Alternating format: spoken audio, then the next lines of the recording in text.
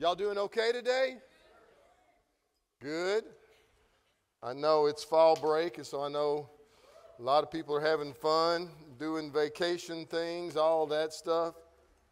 Don't we have a good team? These guys work hard, don't they? Yeah. Does anybody know what we're talking about today? Wow. Stephen said Jesus. Yeah. My boy is spiritual this morning. Yeah. Well, he's not wrong. We are going to talk about Jesus. But we're talking about our responsibility in belonging to Jesus, yeah? We're talking about gatekeepers, and so let's get right into stuff today. Uh, Tracy asked me this morning, well, how many more weeks you going to be on this? And I'm like, I don't know. I haven't even gotten to Nehemiah yet. So, y'all okay with this, right? Yeah. All right. if, I, if I have to, I can change the title so it won't bother you as bad. If It... but this whole thing started out of the book of Ezekiel, and there's three things I want to highlight out of this book. Number one is this You shall be ministers in my sanctuary. Now, these are things that God spoke to his people through the prophet Ezekiel. You shall be ministers in my sanctuary. The second one, you shall be gatekeepers of my house. Now, who's he talking to? God's people. And then lastly, he says this, and you shall stand before the people and minister to them. You see, guys, our role here is, if you will, our assignment is the Great Commission. We are supposed to, Paula, can I have the, the, uh, the different gates of influence? We're supposed to go into the gates of influence. As, as disciples for Jesus, He is sending us into the world to go into these different gates of influence education, government, business, etc. Here's the, here's the deal. Here's what I've found out over my years as a pastor. And what we have done as we get somebody saved and get them wanting to do something for God, and we stay right here. Church and family. That's what we do, Andy. We, we just want to hang out here, and then we leave all this wide open, and the, the kingdom of darkness is very quick to go in and infiltrate what God has told us to occupy. Y'all, y'all with me? When we occupy the gates of influence, when we go in with our assignment and begin to influence the, the, these areas, this is how we fulfill Jesus' prophetic words Guys, when he said, Father, your kingdom come, your will be done, where? On earth. Now, I understand. I know some people think, well, you know, are we going to take over the earth? At one point, we will, but not now. There will always be the kingdom of darkness that's going to be present here. From the beginning, since the fall of man, that has been the case. Our job is to occupy territory. And when we go into places and we set up God's influence, we can't get frustrated and quit because they don't roll out the red carpet for us. Especially if we, the church, have allowed them to occupy the territory for some length of time. See, they should never be teaching some of the things they teach in our education system, but the, but the church removed their influence. The government makes decisions about your family. They should never be making those decisions, but the church removed its influence. And we bought the, we drank the Kool Aid. Now, we've, I, I, can't go back into that, but I covered in detail the, this whole demonic teaching separation of church and state. You know better than that, don't you? That was never God's plan. That's man's got into stuff and screwed it up. Yeah. And a lot of that was preachers. See, y'all, y'all, y'all should never just accept what I say. I got a couple head nods. Some of you like, I don't know, you know, I, should, do I say amen? Yeah. Don't ever just assume I'm right. Never. Y'all do know that, right? And then Jesus tells us this in Matthew 16. He says, I am building my church, and the gates of hell cannot stop it. Now, now check this out. Why would he make a radical statement like that? Because if the gates can't stop us, What they will do is deceive us so that we don't go into their territory. If, if they can, through familiar religious spirits, deceive us into thinking all we got to do is come in here and, and worship and mind our own business as the world crumbles around us, then he's won. The gates of hell cannot stop us means it means that we have to go into the gates. Y'all with me today? That's what he said. And then he makes this statement when he said the gates of hell can't stop his church. He said, I'm building my church. And then he says that I'm giving you the keys to the kingdom. Huh? Now, what does that mean? You have the authority. When you go in, I, I say this cautiously. Now, remember, guys, our battle is not with people. We've covered this in detail. Stop getting mad at people. It's one of the ugliest things when the church gets mad during political seasons because we don't agree. Now, like I've told you throughout this series, my first question is this why don't we agree? As the body of Christ, we should be on the same page, especially politically. But we aren't. Not only are we not on the same page politically, we get mad at each other. I can't tell you the number of people that have left my church because they say, "Well, that preacher." I, have read some of the, or I don't, I don't read them. People tell me some of the comments that people make on social media about me because I'm too political. I'm not political enough. The problem is we've been sucked, to this, sucked into this vortex of thinking that we've got to be separate because we're holy and spiritual. Well, that's a joke, first of all. Now, we are spiritual in God's eyes, but in the world's eyes, no, no, we're not. And so we have to allow the Spirit of God to teach us, to shape us, to correct us. That's what the Word of God does, according to Timothy.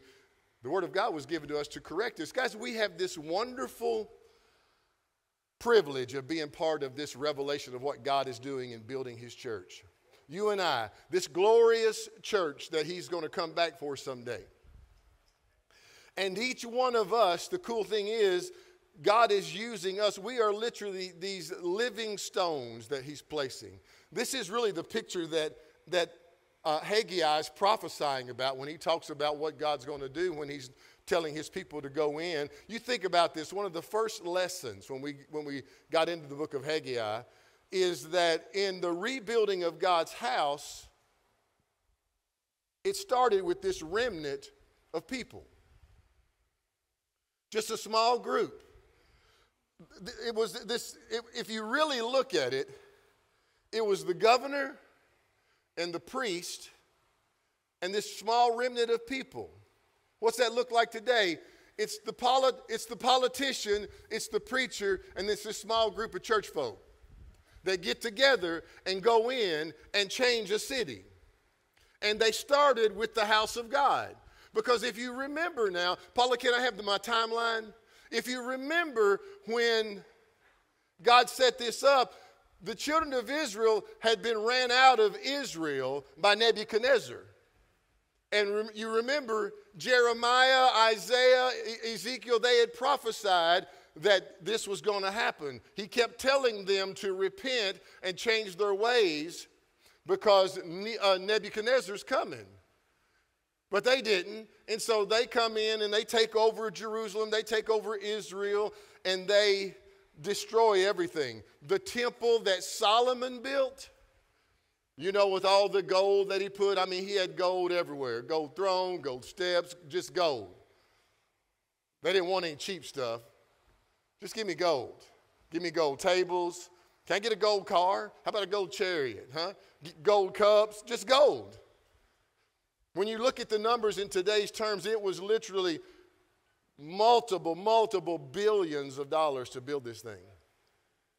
King David actually gave 10 billion himself. Is that crazy? One dude. Like King David had 10 billion. He was a billionaire. yeah.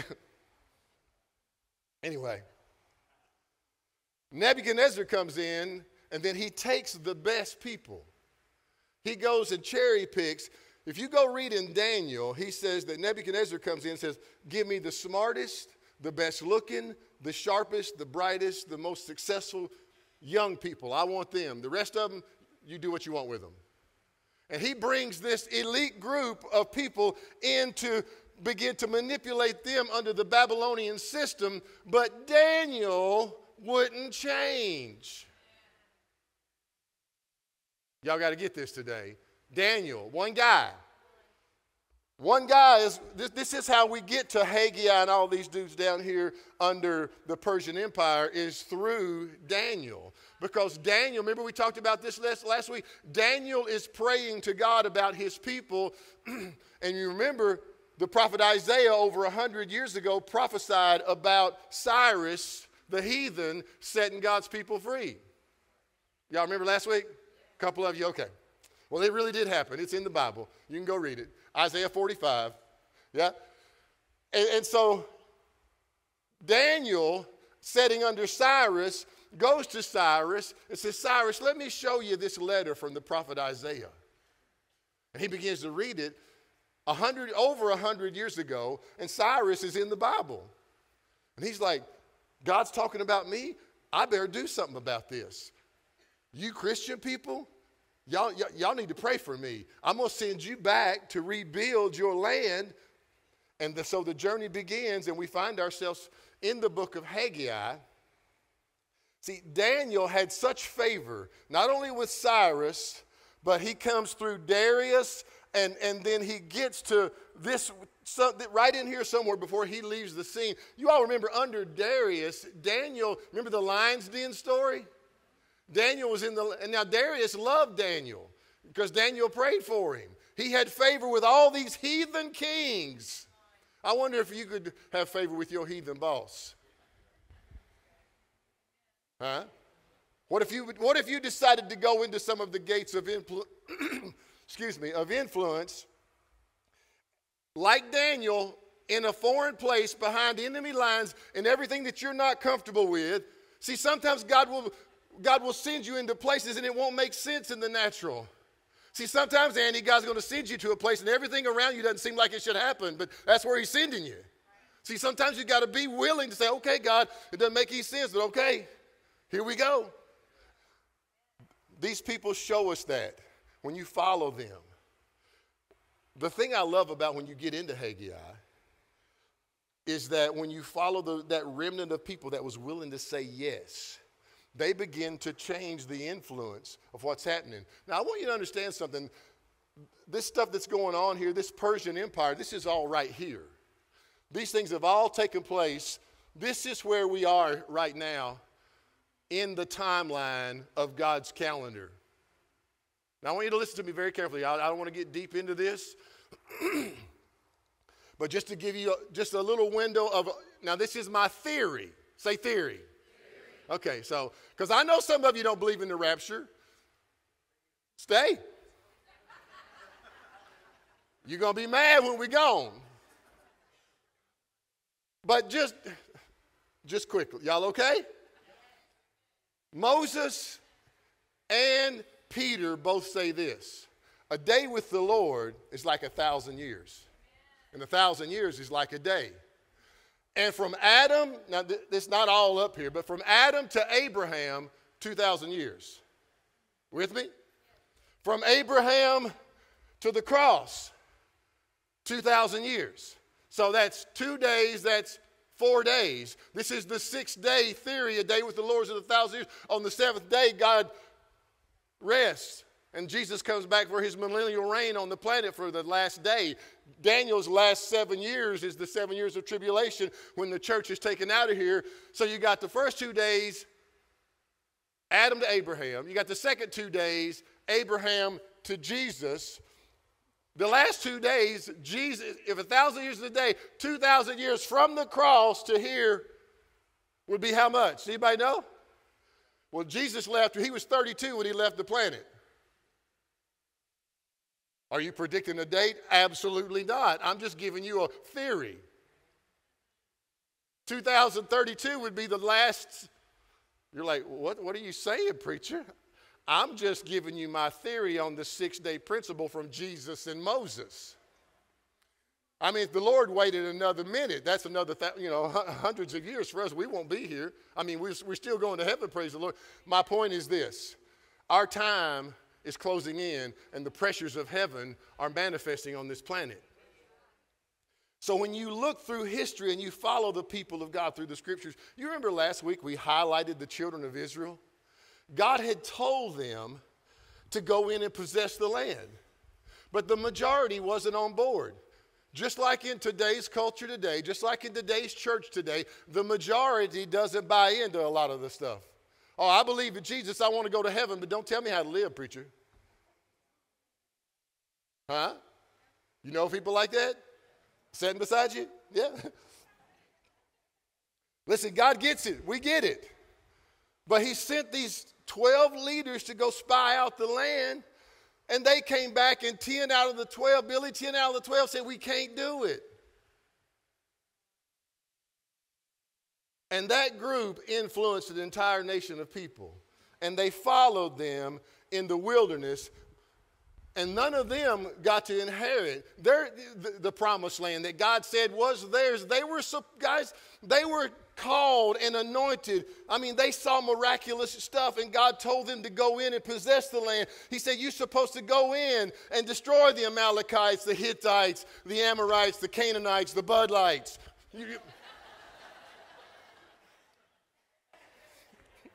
You're, you're, you're supposed to go in and possess the land.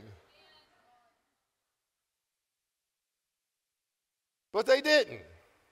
The majority just hung around, just waiting to see what God would do. Still the same today. See, when you go back in the lesson of Haggai and you look at what God did, He talked to the governor, to the priest, and to this small group of people. And they were willing to take a step of faith and so they went.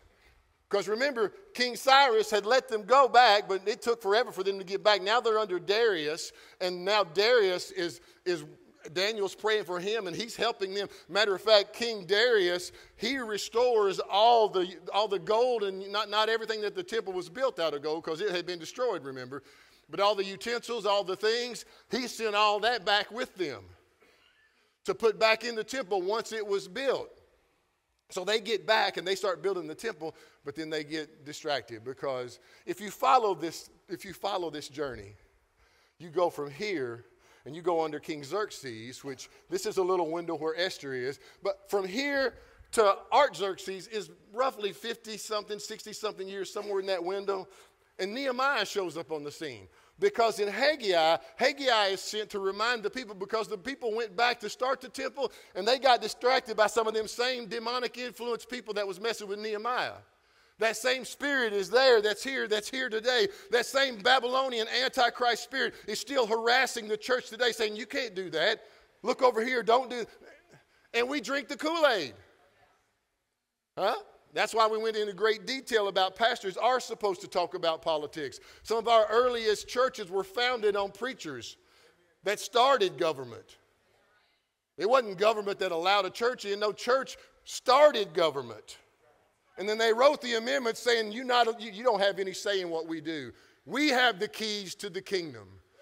But we bowed the knee we yielded to the influence of the Babylonian spirits, and just like with Darius, Haggai goes in and he says, Guys, you have forgotten what the Lord said, and you have drifted from your assignment. The vision that they had to rebuild the temple, they had stopped rebuilding the temple, and you know what they did? They started building their own stuff, started building their own businesses, their, their own ministries, their own houses. And one of the big uh, deceptions or tactics, I should say, that the enemy sprung on them is this. He got them thinking back to what Solomon's temple looked like. Like, well, you, you can never do that again.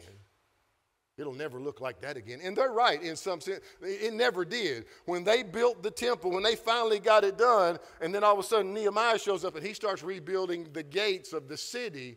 And then you go on through history until Herod comes. When Jesus comes back, you know, right in this area. That temple was there until Jesus said, Not a stone of this temple will remain standing. They'll all be torn down. And to this day, that temple does not exist. Except right here. See, I think the enemy has had too much success at keeping the church occupied with other stuff, occupied with the cares of the world, occupied with comparing us with what used to be, with what was down the street, etc. And then one of his big ones is he continually tries to keep us conformed to Babylon.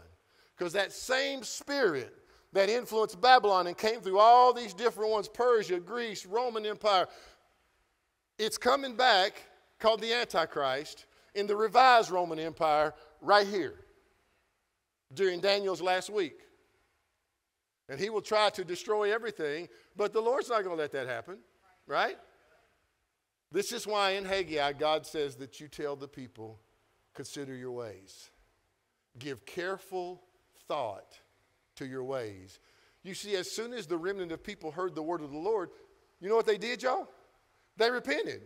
As soon as they heard the word, they repented. As soon as they heard the word, they repented. I appreciate your help this morning. I guess y'all think you got it, right? Now, repent doesn't mean say, I'm sorry. Uh, that's right. Repent means change your direction. Change what you see. Some of you, some of y'all need to change your direction. That is the repentance that they're looking for. And what happened when they repented, God stirred up the people. He stirred up the governor, he stirred up the preacher, and that little remnant group. That, now, understand something. That little remnant group that God stirred up, y'all ready for this? They church folk. They're the people of God. You think a bunch of heathens is going to say, oh, yeah, I'll go back. No, they had gotten used to living in Babylon, they had gotten used to Persia. Many of us have gotten used to this world. You are no longer of this world.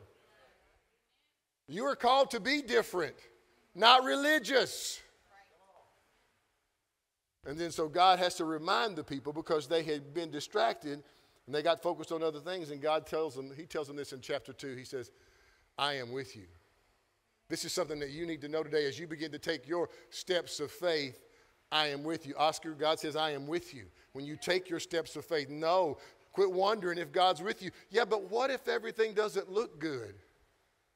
I told our, I used this example Wednesday night in our prayer group, but it's fitting here because so often we get caught up in the middle of the storm.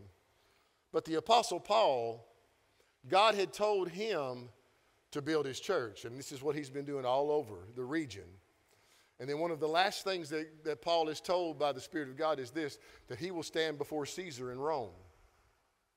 And so, Paul, now listen very carefully. Paul is preaching the gospel. Paul is fulfilling his assignment, and my man is a prisoner on a ship. I know y'all think you got it rough today. He's, he's fulfilling his assignment, preaching the gospel, building the church, and he's been arrested for preaching. And they're taking him, guess where they're taking him? To Rome on a Royal Caribbean cruise line. No, he's on a he's on a ship transporting all kinds of stuff, including prisoners, and God comes to Paul and says, "Tell these people don't take this trip because there's danger. It will, it will, you know, you'll lose everything. Your cargo, you'll be destroyed. Paul tells them, and, he, and of course they know more than Paul because Paul's this preacher that's been locked up in jail. He doesn't know anything. These are, these are professional sailors. We know what we're doing. And he tells, you know, and so they leave. And then the storm shows up and begins destroying everything. And they're all freaking out. And Paul I hadn't noticed this the other day. I, I saw it this weekend. But uh, an angel comes to Paul and says, uh, I'm just going to let you know, Paul, because you with a bunch of dummies. He probably put his arm around him and said, All these heathens that wouldn't listen to you. He said, I, I'm going to protect you. And because of you, Paul, listen very carefully. This is the prophetic word to Paul. And the angel says, Because of you, I'm going to protect all these knuckleheads too. Now, you're going to lose everything. The ship's going to be destroyed, but none of you are going to lose your life. And so Paul goes and tells them the Bible says Be of good heart. So Paul's happy all of a sudden. They're in a shipwreck. The storms are raging. The, the boat is crumbling around them. He says, Be of good heart. The Lord appeared to me, and we're going to be saved. and then on top of that, he says, Because I told you so, if you'd have just lit. How many of you are I told you so people? Bunch of lying. Not one hand. They, yeah, okay. Yes, you are. Paul had to tell them, boys, if you'd have just done what I said, we'd have been fine. But God had a plan, even in the midst of the storm, even what the enemy tried to destroy. God took Paul to this island, and Paul preached the gospel and got the whole island saved and healed all of them. So he had revival and healing, and then when the next ship came through, he went on his way to where? To fulfill what? His assignment. See, I know you think you got it good today, and you, well, I'm not into all that church. Don't kid yourself. I obviously will not get to it today, but I got to deal with you about your assignment. See, this is the reason that we're here. We're not here to just enjoy the blessings of the Lord until He calls us home. One of Haggai's most valuable lessons is that in order for God to reestablish the gates of influence, He has to have His house in order. Listen to me. And he's not just talking about victory. He's not just talking about, like I've told you in this series, there's over 100 churches in Scott County. To some degree, we ought to be on the same page. Right? He needs his house in order because unless the house is order, in order, we can't go into the gates to reestablish influence. And make no mistake, there is this remnant of people that God is dealing with right now. Some of you listening, I, I know some of you, you're not going to be the remnant, you're going to be in the group. But for those of you that are willing to roll up your sleeves and say, Here I am, Lord, that remnant of people he's dealing with, you're going to go into gates. You're going to exercise God's authority. This is why Jesus made this statement that I have used throughout this series out of Matthew 6:33 because it really does sum up the book of Haggai, Matthew 6.33 is seek first the kingdom of heaven. And all the other stuff will, will come in line for you. But what comes first? See, kingdom first stuff means that Jesus is. Kingdom first stuff means Jesus is king, not advisor. You're not asking Jesus' opinion. Jesus, what do you think about this? Should I do this? Now, I know our military is, is, is they're, they're turning it into a bunch of wokeism junk.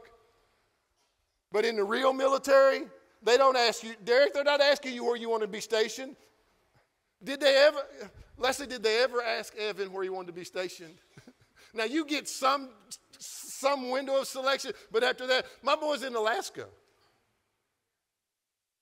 Huh? I, am sure he would love to be on an island somewhere, you know, but he, he's in Alaska. I've never, I'm, not one time has God asked me, Gary, what do you think about this? Why y'all laughing at that? Has he ever asked you what you think about it? No, he gives us our assignment. Jesus, understand the thing? He is king. He is our example. Let's take it a step further. Jesus, if you watch his life, Jesus is the manifest will of God in a human body. He is 100% God, but he is also 100% human. And the Bible says in Philippians that he laid all his, his godliness and deity aside and operated as a human, anointed by the same Holy Spirit that you and I are anointed by. Y'all getting this? See, Jesus, he shows us how a human functions under this power. And much like in Jesus' day, I want you to see this picture today. Much like in Jesus' day, we're kind of, if you will, we're living in some similarities in uncertain times. We see, you know, un, you know, we see things from the world's perspective and it's not looking good. Yeah? But but God's plan, it will, as you can see through that timeline, when he comes through those different ones, God's plan will unfold. Jeremiah said this was coming, and unless the people repented, it came. When you get to Cyrus, Cyrus is the Isaiah 45 president. God said, I'm going to anoint one that doesn't know me, a heathen, to come in and serve my people and set them free. It happened. Darius shows up on the scene, and Darius loves Daniel. They lied about Daniel, said that, uh, you know, that he's doing all this stuff that, you know, you got to bow, you got to worship, you got to do all these things. And Daniel's like, I'm not doing any of that. I serve the living God. So they throw him in the lion's den. And the king's all worried about it.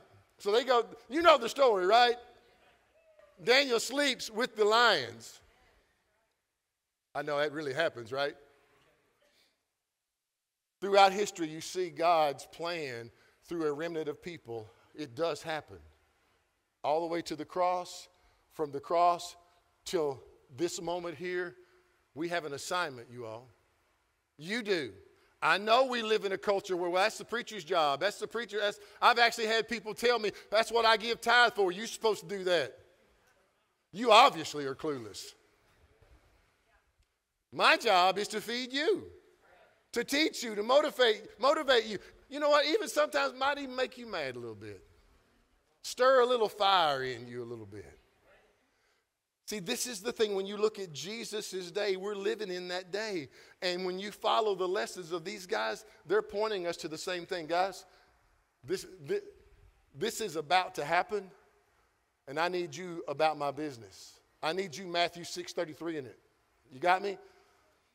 The thing you have to understand, Jesus shows us a beautiful picture of this. In Go to Luke.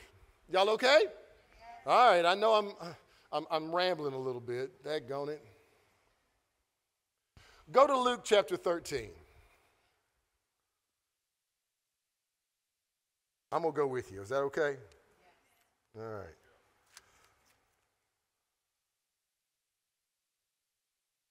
Luke 13.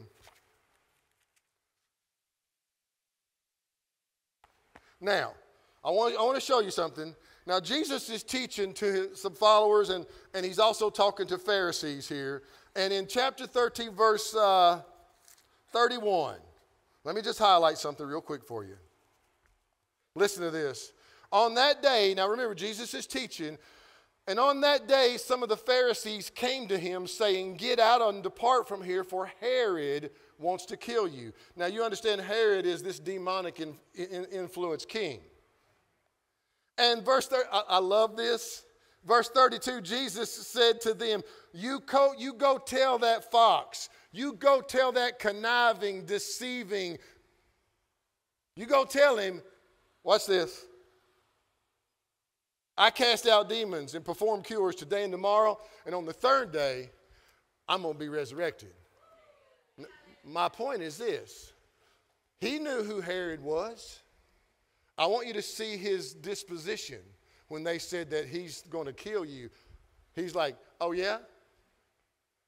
Cody was teaching a couple weeks ago in, in our Equip series, and he made this statement. He said that when Pilate was talking to Jesus, Pilate said, Don't you know that I have the power to take your life? Jesus said, You ain't got no power except what my Father gives you.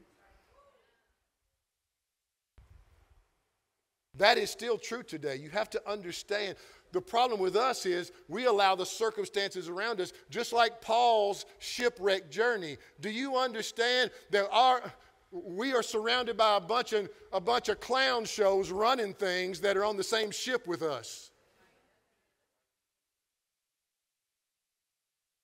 And and here's the prophetic word. You're going to be okay. They just on the ship with you. Now God may have to destroy the ship. We don't want to hear that part of it. We just want we just want luxury and comfort and huh? No, you got a Bible.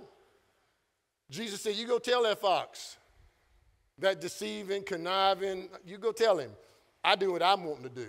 And you can't stop it. The gates of hell can't stop it. And then in verse 32, he said, or in verse 34, he says, Jerusalem, the one who kills the prophets. Wow. Huh? How often I wanted to gather you together, but you were not willing. And then he says this in verse 35 See, your house is left desolate. Does that sound familiar? Same thing that he said in Haggai. Your house is left desolate, and I say to you that you. Now, remember, who's he talking to? Yeah, there's followers and disciples there, but there's a whole bunch of Pharisees. And he said, I am telling you that you will not see me again until you say, Blessed is he who comes in the name of the Lord. And even here with Jesus on the planet, we see the results of, you know, a lack of gatekeepers. That city was occupied with, and what's really sad about that time with Jesus, the gatekeepers that occupied the majority of that city, they were the religious world of that day. The Pharisees, they were the preachers of that day. That Pharisaical, that religious spirit, that Antichrist influence spirit that you see come through all the Old Testament journeys, it hasn't changed. That's why Jesus made statements like this to the Pharisees. He said, You are of your father, the devil. Now, can you imagine that? Jesus is telling preachers that your father is Satan, the preacher. I wonder if he would say something like that today to preachers. Well, we wouldn't listen, just like they didn't. Huh? See, God is always going to be faithful to his purpose. And I'm telling you, right now, he's going to have a remnant of people that's going to say yes. Now, if you go back in that story in Luke and you go back up and you read that, let me read Matthew chapter 7. In Matthew chapter 7, it's the same account that's in Luke chapter 13, but in verse 30, Matthew 7 out of the New Living, Jesus says this You can enter God's kingdom only through the what kind of gate? Narrow gate. The highway to hell I know it's an ACDC song, but they, they, they couldn't help it. Huh? The highway to hell is broad and its gate is wide for the many, say many, who choose it, the majority. But the gateway to life is narrow and the road is difficult, and only a few find it. What are you saying, preacher? Well, first of all, I'm not saying anything. I just read the words of Jesus. Did you hear me? I just read the words of Jesus. He said, Wide is the gate that the majority is going to go through because they want to do what they want to do. They're going to follow the leadings of the Pharisees, their father, the devil, and they're going to be deceived and influenced by wrong spirits. That's why the Apostle Paul said, In the last days, doctrines of demons will be taught in the church because people want to hear what they want to hear. And man, I can tell you from my journey as a pastor, that is so true. If I say the slightest thing you don't like, you out. I got more people that's left this church than that's here today.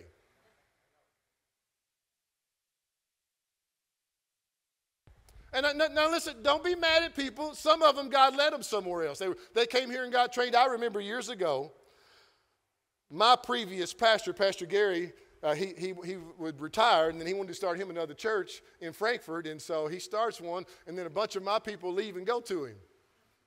And he calls me and he says, Man, I just want to thank you for training them right. now, listen, I took it as a compliment. I wasn't offended. We're the body of Christ. Now, does it hurt when somebody leaves? Well, sure, it hurts. But God has plans for people. And so some of those people left and went to help Gary get his work up and running strong. But he called me. He was sincere. He said, Man, thank you for training them right. I'm like, Yeah, was, I'm, I'm glad I was able to train them right. Yeah? That's the thing that you and I have to understand. We all have assignments. Yeah? This is why one of the last things Jesus told us in the Great Commission, he says, Guys, you go and you make disciples just like me. You train them to do the things I taught you to do. See, Haggai lets us know that there's going to be this remnant of people in these last days that are going to put the kingdom of heaven first. And here's the thing I want you to see, and I've, I've touched on this briefly throughout our talk. But as our redemption draws near, now you, you got to see this visually. As our redemption draws near, what happens is it puts pressure on thrones and principalities and rulers of darkness, and it begins to shake things in the spirit world. You don't see all that right now, but it's happening right now. There's a shaking that is unfolding. I'm going to read it to you in Haggai that it was prophesied in just a minute. See, And the thing you have to understand, guys, anything not grounded in God's house will be shaken. This is why he told us that we've got to keep our eyes fixed on him. It can no longer, just, guys, it can't just be about going to heaven someday. Huh? I mean, praise God we get to go to heaven. That's wonderful. But we need to be occupied here. We should be occupying until he comes as, as opposed to being preoccupied with when he comes. You with me? See, and when you go through Haggai and you get into chapter 2, God has to remind the, his people again hey, guys, you, you're, you're still here. Don't quit. Be strong. Let's get back to work. He says, I'm with you. My spirit remains among you. he reminds them, just like I promised the children of Israel, I'm promising you. He says, Don't be afraid. And then he tells them, Here's what's going to happen. And then you find yourselves in chapter 2, verse 6, and God says this through the prophet For thus says the Lord, once more, it is a little while, and I will shake heaven and earth and the sea and dry land. Who's going to shake it? God's going to do some shaking. Now, let me, let me share this with you because as Haggai is, is speaking the word of the Lord to the people, none of the stones have been put in place yet. They haven't. They, they got there and got their plan together. They, they was getting ready to get started, and then they got distracted. So they haven't really done any work. And he's telling them, even in the process of this journey, there's going to be a shaking going on. At that time, in future times, during the times of Herod, etc., but more prophetically, he's talking about, put that timeline back up, Paula. More prophetically, he's talking about this. This is the shaking that God is speaking through Haggai that's going to take place. The book of Hebrews, chapter, it's either chapter 12 or 13, talks about that. He said, I'll shake everything that can be shaken. Everything in my house will not be shaken. Verse 7 and I will shake the nations, and they shall come to the desire of nations. Some of your translations say that they will bring all of their desires and all of the wealth of their nations to me. And I will fill this temple with glory, says the Lord. The silver's mine, the gold is mine, says the Lord, and the glory of this latter house will be greater than this former house, says the Lord. What's he talking about? He's talking about his church. The prophet Joel says, Rejoice in the Lord because God is giving us the former rain and the latter rain in the same month. The former rain was the seed time, the latter rain was the harvest time, and he's bringing them together at one time. The prophet Amos says it like this Behold, the days are coming when the plowman will overtake the reaper and the treader of grapes, those who sow the seed. It's coming to a fruition where they're all going to flow together. Do you understand? When a plowman is overtaking a reaper, there's something happening supernatural. We are living in that window of time. That is the shaking. I want you to notice at the end of Haggai, God is telling this faithful few, this remnant, because you have changed your heart before one stone was even put into the temple, because you have changed your heart. I promise, while the seed is still in the barn, listen to me, this is in Haggai while the seed is still in the barn, while the tree hasn't produced anything, from that day I am blessing you, says the Lord. You see, for us today, guys, we have to understand this prophetic window that we're in. God is literally starting the shaking of the heavens.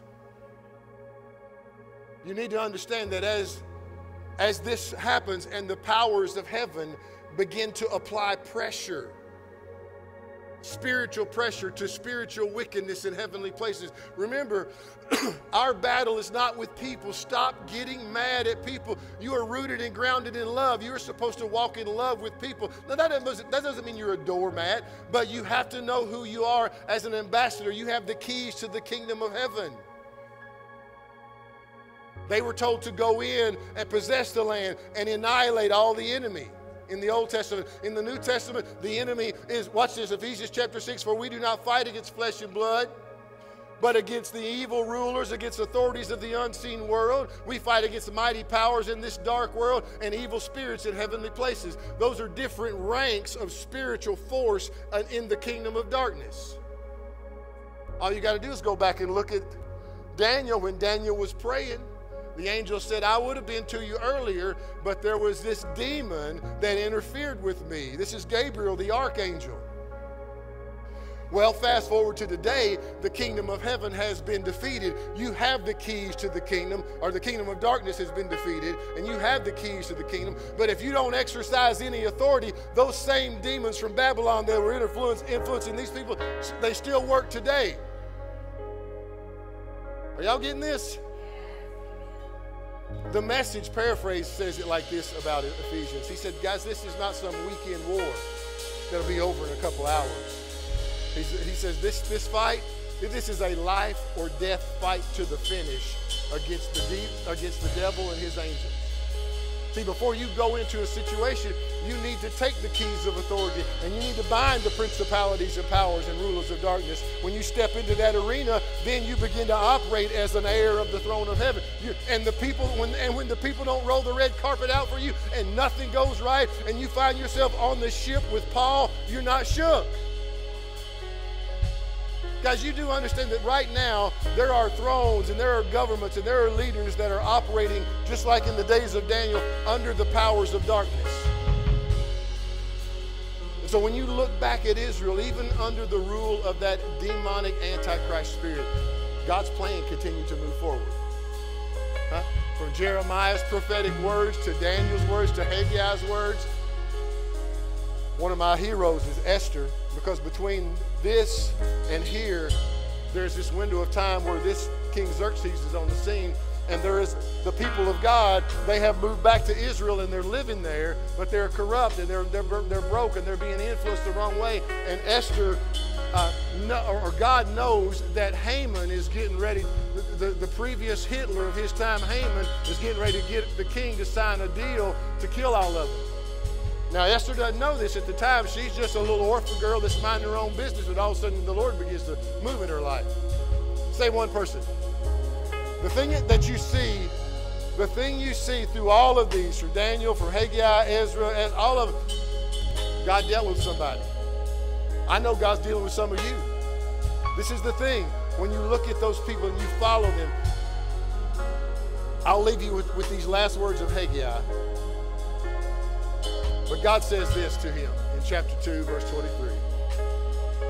Haggai is speaking to the people. More specifically, he's speaking to the governor. Remember who the governor is? Zerubbabel.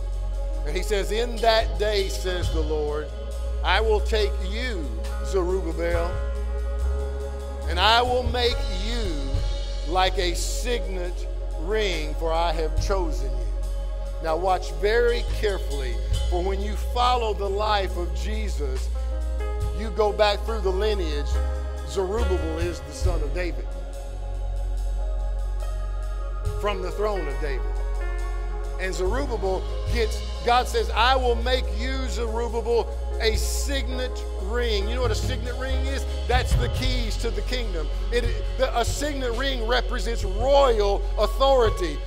And he said, I'm going to make you the head of this remnant. You're going to be the king on site, the governor in this land representing me, and, and my seed is going to come through your line because you are of the tribe of David.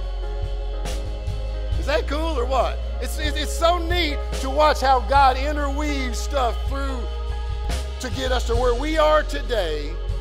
And then he says, listen, I, I want you to get this because in, in that at, at the end of it, God speaks to the prophet and he says, The glory of this latter house will be greater than the former. Now, what I want to do, I, I, I want to suggest something here, okay? There is a, there is a documentary that's out. It's, it was done a few years ago. But if you're taking notes, write this down. Take, uh, you know. But it's called Before the Wrath. And it is about a Galilean wedding. And what you need to understand about a Galilean wedding is a Galilean wedding gives you this type, this picture of the body of Christ, the bride and the groom. And it shows in detail how that unfolds and what takes place. You can get it, I don't know, on Amazon, I think. It's like $3. Make a note of it. Go watch it because he's talking about us.